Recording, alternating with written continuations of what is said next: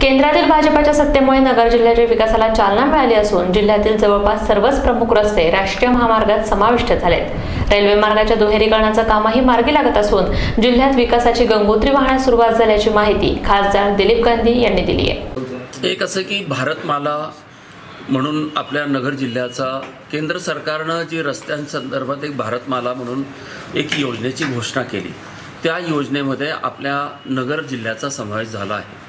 आणि त्यामुळे आता नगरला येणारं जे नगर मनमाड असेल हा नॅशनल हायवे झाला Nagar Aurangabad national highway Nagar Kalyan national highway Nagar Pune national highway Nagar Karmala national highway Nagar Jamkhed national highway Nagar Pathardi national highway Nagar Shevgaon national highway Nagar Newasa शान national highway Nagar Sangamner national highway Nagar Kopargaon national highway Nagar Shrirampur national highway Nagar Parner म्हणजे तालुक्यातली सगळीची सगळी चौदाची चौदा तालुके ही आता national हायवेने जोडली गेली.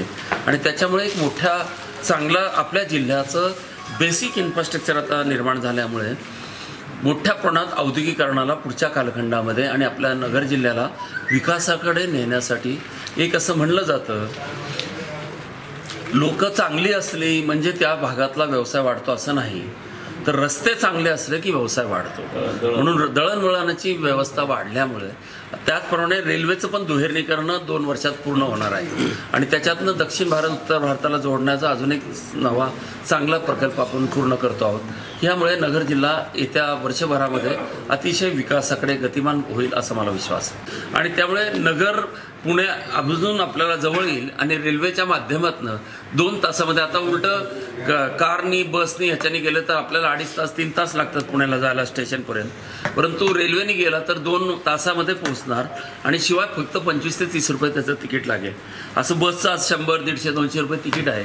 पण पंचवीस तीस रुपयामध्ये सामान्य माणसाला किंवा नोकरी करणाऱ्याला सुद्धा नगर पुणे आता लोकलसारखं आपण त्याचा पुढे प्रयत्न करू.